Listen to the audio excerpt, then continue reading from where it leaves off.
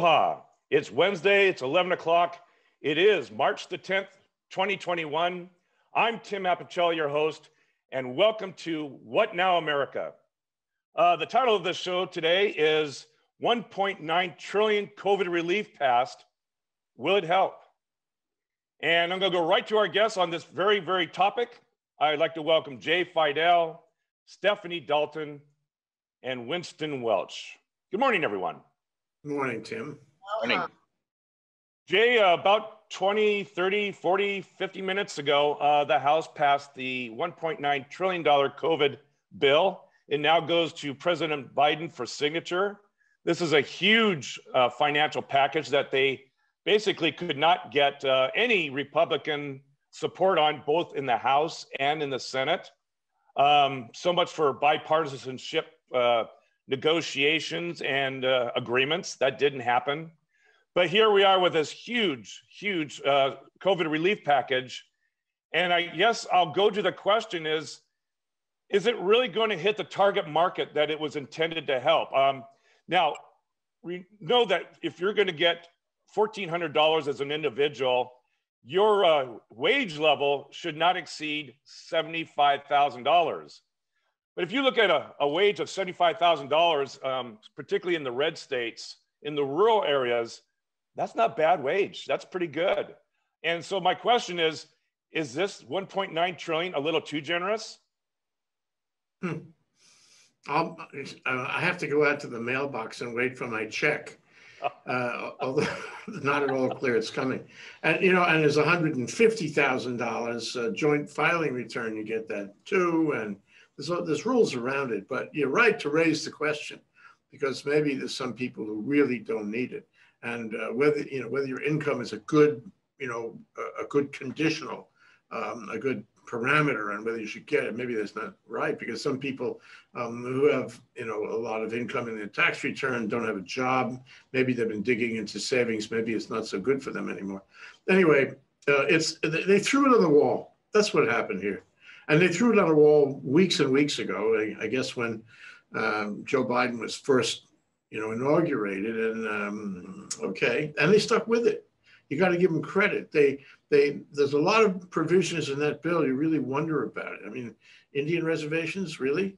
Uh, they're trying to correct every ill that you could ever imagine in the country, and uh, a lot of it got by, uh, you know, the screening process and it's still there. It, they threw it on the wall, and a lot of it's stuck. Well, is this a result because they knew they're going to have to go through a reconcilia- reconciliation process, and they could do it that way, and basically stoke it up with all sorts of things they normally wouldn't get through passage? Well, yeah, I mean, it was the idea was relief from COVID, make the whole country, you know, better, uh, better economic form, and I think it will do that, but for a while. You know, what strikes me, I wonder how you guys feel about this, is okay, fourteen hundred dollars. That's it. That's it. Well, let's now let's yeah. back up a little. Um, you know, if, if you're a family of four and you have two children under the age of, of seven, uh, each child is going to be three thousand six hundred dollars. So you had thirty six hundred and thirty six hundred plus another fourteen hundred plus uh, the spouse of fourteen hundred. Um, that's quite a bit of income into one family of the United States. Andrew, uh, what was his name? Andrew Wang would say. Yang, Yang, yeah. Yang would say, uh, how about repeating that? How about doing some kind of thing where it happens every every every other week or every month, uh, for six months, for a year, uh, sort of a guaranteed income, if you will, to keep keep things going. And I really don't like the idea of giving out lump sums like that because people, you know, can spend it instantly. How how long does it take you to spend a lump sum? Not very long. And, and if they have no reserves now, for whatever reason, um, they're not going to reserve much of that. So it's going to be spent and gone. I mean, I'm not saying it's a bad idea. It, it, certainly will, you know, generate a lot of cash in the economy, and and that's probably good. And it's a good it's a good start, okay, for, Joe Biden and, and the Democrats. What troubles me, and you mentioned it more than anything, is that it was completely political and uh, every Republican voted against it. There is no sign of collaboration here between the parties, none, zero. And the next thing that has to happen is uh, we get into the, the Voting Rights Act, which is really important for the long term and we're going to run into that same, you know, partisan vote. And uh, I'm I'm really sad about that because I don't think that's going to pass. You can't do reconciliation on that or on so many other things that he has lined up in his pipeline. So I think you know this actually may be it. I yeah. mean, I, would be interested in how you guys feel about the other bills that are in the pipeline. Is he going to get them through on a bipartisan basis? The answer is probably no. Why? Uh, yeah. Because they would vote against them as a matter of principle. They want to make them look bad. They'll never vote for any initiative, good, bad, or otherwise. Well, as I said in the last show, um, they didn't use the last reconciliation process under the Trump administration. So Joe Biden has that one. And then, of course, he just used one for the COVID uh, passage. So he's down, he's down to one reconciliation um, process left in his bag of tools. But let me just it sounds like a canasta maybe or poker. It sounds like a game. You have no Monopoly, maybe you have one more one more choice, you know, and choose. Or, or if you're golfing, it's called a mulligan. You got one. Yeah, this, got one mulligan left. Time, yeah, right. you know, um, the Pew just came out with a poll that 70% of Americans like this COVID bill as is. Um, now that might have been taken after the $15 wage was in or out. I don't know, but I think it's they they approved what Joe Biden was doing on this effort, and uh, 28% opposed it. So it's rare to get 70% agreement on anything in this country.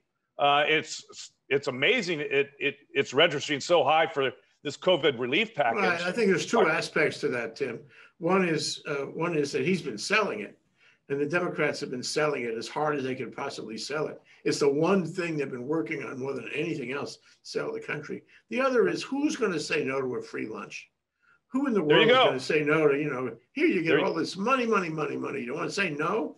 Um, okay. the only people who say no for reasons that are not at all clear is Republicans. That's irrational. But most people, most most human being people, are not going to say no to a free lunch. There aren't, and that's my that goes to my question: Is the GOP senators and uh, re- representatives in the House are they risking a great deal by alienating those who really want to see this, and that means their own constituents? You want my answer? Is that there? Yes, some of their constituents would be wondering and scratching their head what what happened, you know, in Congress in in the Republicans and in the House and Senate. But on the other hand, you know, remember the fickle finger moves on the press moves on, the news cycle moves on, and they figure there's plenty of time for the public uh, who got irritated uh, to forget all about that. And it would be up to Joe Biden and the Democrats to remind them over and over and over again, especially at the next election. All right, thank you. Hey, Winston, uh, they took out that very uh, controversial $15 per hour uh, minimum wage out of this COVID relief package. Uh, Joe Manchin probably had a big say in that. Um, do you think that was a good move or a bad move not to press further to either retain it, or was it a wise idea to remove it? Well, I mean, he's the he's the leader of the Democratic Party now, isn't he? Or he's the control mechanism or the pain point. So, what he's Joe the wants, the ball. Yeah, he's got what Joe wants is he's going to get. He did say, I, I think I read something that he said he was open to something about the filibuster. Um, I might have read that wrong, but I, I thought that there was probably the screws have been put on him on the other side as well, saying, dude, look, are you in our party or not? Um, because at some point, like Jay was saying, there was no no Republicans voted for this, and as this moves down the road, what else is going to be, you know, Voting Rights Act or, or anything? I think what, what what they'll find agreement on is probably other large scale things like infrastructure projects that bring the pork home. Um, you know, these bills are always just filled with with um, everything. You know, the kitchen sinks. Some of them, some things like that, fifteen dollars an hour. You mentioned, um, you know, in a lot of states, getting fourteen hundred bucks is a lot of money. Um, if you're in Alabama or Mississippi or, or West Virginia, that's a lot of money. Um, I, you know, it's it's fourteen hundred bucks, but it's not going to go as far in uh, San Francisco or Seattle or New York or Honolulu. Um, but uh, if that was what was going to prevent it from happening, and where the minimum wage is, what is the minimum wage? Seven dollars an hour or something insane. Um, that has to come up on its own maybe maybe it's just done by the states. I don't know, but if they had to take it out, they needed to take it out, and if that's what what caused it to pass, of course we need to have a living wage, but that's a completely different discussion on that we have literally trillionaires in this economy, and I'm all for people being rich. I, you know, being rich is glorious, but we also have incredible uh, disparities of, of income, of, of opportunity now in America that are showing up educationally, socially, and in other ways. And that needs to be addressed at a more structural, fundamental level. But like you said, 70% of people said, yeah, this bill is great because who doesn't like free money? And the 28% that said they don't like it, you'd be hard pressed to find a company or an individual that's going to send back that check to the government if it comes to their house on principle. I bet the government's not going to get point. a lot of refunds on that. And it's probably thing I would be surprised if organizations, even like the American Enterprise Institute or or, or, or whatever organization didn't apply for their PPP loans and all of that as well. Because if they weren't, then they weren't doing um, well, they could stand on principle, but if they weren't doing that, then they, they were sort of neglecting their responsibilities uh, for financial prudence of, of what they're they're they're given. So, uh, yeah, it's, right, it's well, let it me was, let me take the other position on this. Let's say it's uh, you know, 15 years ago, and the Tea Party is just emerging. And the Tea Party, if you remember, one of their uh, main principles was uh, deficit control. So the first uh, COVID relief was 2.1 trillion. The second one, which was this at the end of December of last year, was 900 billion. And this one's 1.9. So if you do some fast math, you're over $5 trillion. Now, apparently, deficits don't matter anymore for both the Democrats and the Republicans. But at some point, uh, we can't just keep rolling money off the, the printer machines and expect uh, not to have either inflation or a, or, or a collapsing US dollar. Well, that's coming down the road, but it's not here right now. Right here, right now, people are out of work, they're out of money. There's a rent moratorium expiring. Uh, even here in Hawaii, I was reading what was it, 50% of businesses didn't pay at least one month's rent last year. Um, it, it, it, it, I think that was something like that in Pacific Business News. It was uh, whatever happens in the future with inflation or the dollar going down. I mean, that's it's just sort of inevitable. I think um, on some level which is why you've seen these crazy things with Bitcoin going on, like fake this this this, this is a non a non um, there's nothing there, but people are pouring money into it because they're seeing that in the future. However, as we saw with the Republican Party, they're not a party anymore that's based on principles as we understood conservative. Um, uh, principled conservatism, the kind that perhaps Liz Cheney represents, uh, very few, the very few you can you can pick them out that are willing to stand up and say that. And it's probably what maybe uh, maybe a quarter of the party left that has some principled conservatism. So anything about like uh, spend as much as you want. The, the, the, the, principles that we used to understand as conservative principles they're not there right now. They may come well, back. It would be nice know, to see can i just jump in on this? I mean ultimately we're going to have to pay the piper. And tim is right to raise the issue at some point along the way, we're going to have to reckon with this, and it's going to hurt us. It's going to hurt the stock market. It's going to hurt the economy. Nobody wants to talk about that, but we, we don't know, know when that, that is. At the Jay. end That's of the, the day, problem. we're going to have to pay the piper. Yeah, but it's not today. It's, it's, not, not today. today. People yeah. people need that. They need the two trillion today, and I think it's a conceptual number. If you ask the average American, how what's America's debt?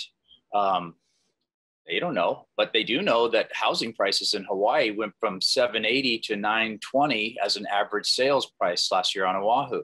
That's a huge increase in the price. So all of this stuff is going to figure out into calculus somewhere down the road. But for right now, they're worried about um, keeping food on the table, keeping the, the roof over their head. And so they're going to welcome that relief, period. Okay. Hey, Winston, thank you. Hey, Stephanie, I'm going to kind of um, return back to a question I asked Jay, and that is, uh, again, if you're a, a, couple and you're earning 150,000, you're going to get $2,800 immediately, probably in the next week, uh, sent to your home or you know through your bank account. Do you have automatic deposit. Um, was that level too high? Should have been 100,000 for a couple and and 50,000 for an individual, or do you think the level set was appropriate and just right? Well, that's an interesting question. And um, I, I, I, haven't really thought much about it as a specific number or who what the cut is, but of the cut at the level of income is. I think that is a repeat of what there was before. So I guess convenient. It was a repeat, yes. But other point is no matter all those people making that, that kind of money, they're probably, as you or, or Jay mentioned earlier, they're not necessarily going to spend that money on hot, new hot dogs for their kids. I mean, they're going to spend that money all over the place. So all that money is uh, is they should put some in Bitcoin or, or some savings if they don't have any, which Winston mentioned earlier. But anyway, that, that money's all going into the economy. So that's going to start whipping whipping things back up. Well, is it going in the economy? What if people had to borrow money for the last year just to put food on the table and pay the utility bills and pay the mortgage and they had to borrow? Um, I would think if, if, they now have an influx of cash, they have an opportunity to pay that debt back down. Well, sure. Um, do that. But lots of them didn't have that problem if you're getting up to 150K a year. Well, I there you go. I, I, I, guess my point is, I'm not sure this money is going to the exact proper target market. Um, I think there are a lot of people that had more need that you could have spread this out further for the people are 100,000 as a couple or 50,000 as an individual. Um, I don't know. I guess my point is that it is all going to come back around to all of us, okay? Because it's going in the economy one way or another. After those people in high need are going to pay off uh, what they need. And the other, the other aspect of this is that I've learned from Brian Schatz's statements to Hawaii that this is actually going to relieve Hawaii. And I don't know about the other states, maybe it's similar, but we're going to be relieved of this catastrophe of a huge deficit. In fact, we're going to be on our way way back up to par. Even the state collection of taxes uh, is not as dire as they thought it was. So we're not going to be as short there. So there's a really good uh, a good point that's made actually by the Republicans because a lot a lot of that money is going to more than those kinds of, of uh, payments to people. I mean, education's getting a huge batch of money. It's going to make a huge difference. All the small business, there's millions and millions, which I won't go back over here, but that I wrote down that are going to all these other places to heart. They're going to, um, you know, the National Fund for um, Access to uh, or saving the workforce. There's all there all of that. So there's millions and millions, hundreds of millions coming from this bill into other places in Hawaii that are going to bu- just bounce. Not into Hawaii, but uh, you know, around the nation. I guess I'll. I think this is an opportune time to bring up uh, Lindsey Graham, Senator Lindsey Graham's comments that um, part of this COVID relief bill had, had dedicated $5 billion to um, farmers, uh, minority farmers, to either gain access to loans they weren't allowed to gain access to through the US um, um, Department of uh, Agriculture. And so give them access for that or um, pay off debt to forgive loans that they had been carrying just to keep their farms uh, in existence. And, and, and, Lindsey Graham referred that to as reparations. And um, I'm just curious. That's that is like, the exact okay. term. That is the exact term he used. And I guess well, I'm getting, what I'm getting at is there are like most bills. I call them a Christmas tree, and everyone in the middle of the night hangs a little Christmas tree ornament on it. To what degree yeah, do we all sorts of ornaments on this that they got to take money home? Look at Kentucky but Mitch McConnell has so much money. They got bridges they don't even need down there, and the people are still starving. But and um, but my point is that for Biden, from Biden's point of view in the administration, this is a one-shot deal, as you all already. Oh, I, I want to speak to that. I think that's really an excellent point. You know, this discloses, this reveals to us uh, that the Congress is dysfunctional and the government is dysfunctional. In a perfect world, with all those economists, really high quality economists in the administration, they would tune the economy. They would say, well, okay, it's March, let's do this in March. And this is April, we'll do a little something in April. And we'll keep on going down the pike and we'll, we'll adjust everything depending on how the economy and all these other factors, including COVID and the vaccines, are working. But we can't do that. Why? Because we, we're, not, we're not bipartisan. You can't get these bills through every day you know, look how long it took Biden to get this one. You know, it started what the 20th of uh, of January and now only, and this is this big priority. So, you know, what I'm saying is that ideally, in a perfect world, Congress would be able to act in a much more nimble fashion, recognizing that it cannot, will not, does not act in a nimble fashion, that everything is clogged up in Congress and you can't repeat this kind of bill. That's what we have. It's not the best solution. Yeah, and but it's so much like a football game, right? So at every scrimmage, you can that they have an overall plan to get to the goal. Okay, but it's every single inch, centimeter is a scrimmage to get there. And that seems to be more our model of government, especially these days. And there isn't any cooperation at all, except to be in each other's ways. So uh, if that's the way our government has been, uh, you know, deployed, we need to start thinking about what Biden might help lead us to thinking about, which is back to compromise, negotiation, arbitration, whatever it is that you can change this game so we can meet the needs of the people. But I think back to the point is that this is one time and it may be Biden's not going to get another thing through depending on what what comes up. I agree. So I, I mean, Joe Biden may- said, go big, let's go big. And he, I think he did. Yeah, I think, I he, think did. he did. It. This will hold him and get him through some tough stuff to come. And hopefully he can turn it around. We'll see. Yeah. But hey, Jay, um, okay. Thank you, Stephanie. Appreciate it. Jay, um, in the southern states or around the country, 43 states actually, we have over 253 bills uh, proposed that will limit voting access for constituents or non constituents. Um, that's quite a staggering number. We know we have a, a proposed uh, bill, H.R. 1, uh, later in August, I believe there is uh, another bill, um, H.R. 4, which is called the, the John Lewis Voting Act, that will come up on the August uh, 2021 calendar in the legislature. Uh, you brought up the point that this is a, a critical bill that needs to be looked at um, because what the GOP is trying to do is really curtail access to the voting booths. And they know that's why they lost Georgia. They know that's the sole reason why uh, a, a red state went blue, and you had two Democrat senators elected over two GOP established senators. Um, what are your thoughts about this attempt by the GOP to thwart uh, a fair and clean election? Yeah, I mean, aside from the destruction of the planet by climate change, um, and I suppose the, the previously uh, very threatening COVID, maybe it's not so threatening today except the variants, this is the most threatening thing to our democracy.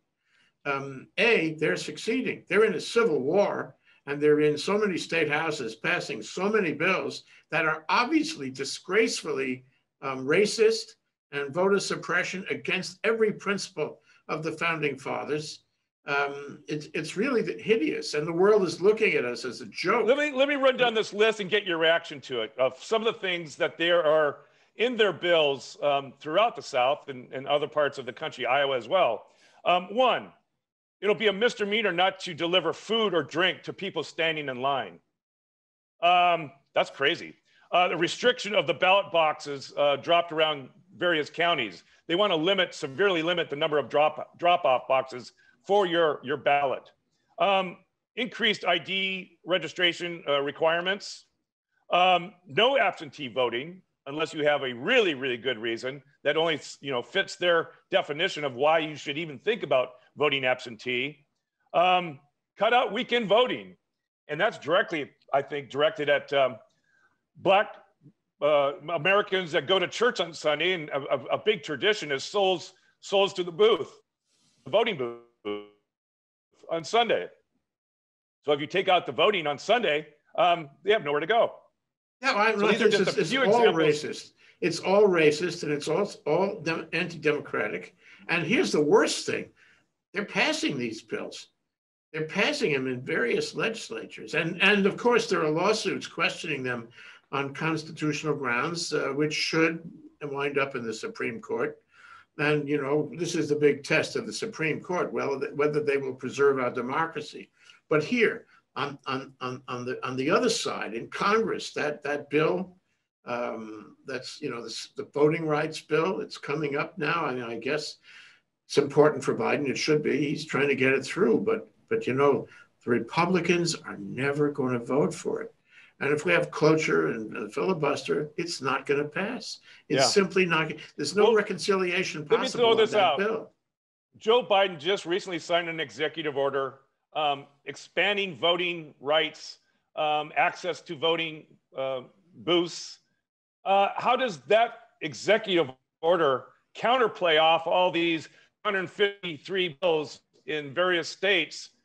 Uh, which one takes priority? An executive order or something passed by an individual state legislature? The courts will have to decide. But you know, it's not a pretty picture. And uh, the reality is that the legislation passed um, by these various Republican state houses, state legislatures, is going to have to be tested in court. Well, see that, uh, and and may fail. I mean, I mean, what I mean is the attacks on them may fail. So what we have now is, is, pandemonium, a civil war, chaos between now and, and 2022. And the trouble is that we ought to pay attention to the crises that are going on in the country, not in having a civil war. It's the wrong time for that. It's always the wrong time for that.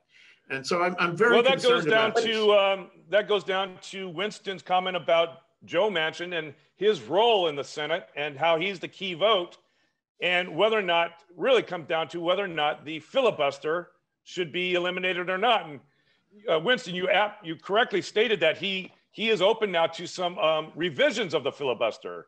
Now, in the old days, you know, remember that that movie of Jimmy Stewart, uh, Mr. Washington, or Mr. Uh, Smith. Smith goes to Washington and he's doing a filibuster on the uh, the floor in the House of Representatives, and he's going on and on. Well, I think Joe Manchin is open to getting back to those days where you just don't go, okay, we you don't got the 60s. Next item. Joe Manchin may be in favor of of having a uh, Lindsey Graham or a Ted Cruz stand on the Senate floor for until they run out of breath uh, to exercise their filibuster rights and to not make it easy for them like they have it now. Winston, what do you think about that? I think if I were Joe Biden, I would be pouring every possible federal resource into West Virginia. I, everyone gets his own bridge. Everyone gets his own school, gold plated toilets, whatever he can do. You, you mean know, Abraham I, Lincoln of Paola to get your your your amendment, whatever, your Thirteenth Amendment passed? Sadly, whatever works. But you know, as I was looking uh, just on uh, online for this, um, HUD, uh, the, the, urban uh, housing and urban development for the U.S. They, they said that low income in Honolulu in 2019, if you were looking for a loan or, or to qualify for subsidized housing or affordable housing, single person living on Oahu in 2019 was $67,500. Um, so the 75, while that seems like a lot, um, it's, it's just above the low income level the average mean wage here as by uh, assuming a bureau of labor statistics and i still think that those are accurate 54900 in 2019 so this money even in hawaii will go a long way for a lot of people now you know those are mean those are means they're not um, real but uh, I think that you know, I, I, still I, I wake up every day now. I don't have to go and check what Joe Biden did or didn't do. I don't worry about the the state of the nation. We're not in a state of hyper alert anymore. I think everyone is calmer now.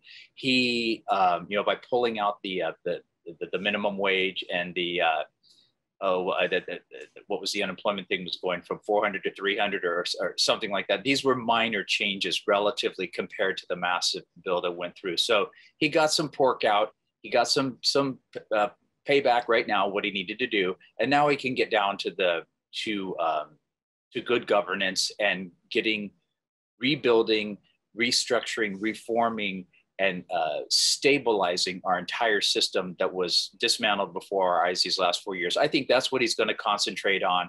Um, it, it, seems uh, there's no giant scandals coming out of his administration. There's no incredible gaffes that we have to look at. So uh, I think you know, for a while, I I think if we can just settle on a little bit more boring, everyone's going to be calmed down. Joe Biden is the baking soda that this nation needs.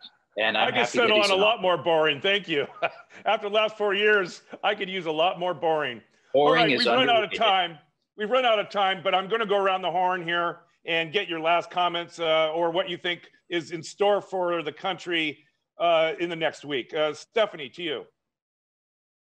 Thank you. I think there is a nightmare going on that we cannot let up on. In fact, we need to do something about it, which is as uh, as Jay mentioned, and I was interrupting him because the, the Civil War was about states' rights. I mean, that's all I ever heard about. I never heard a thing about slavery or read about it in all of my US history courses a long time ago.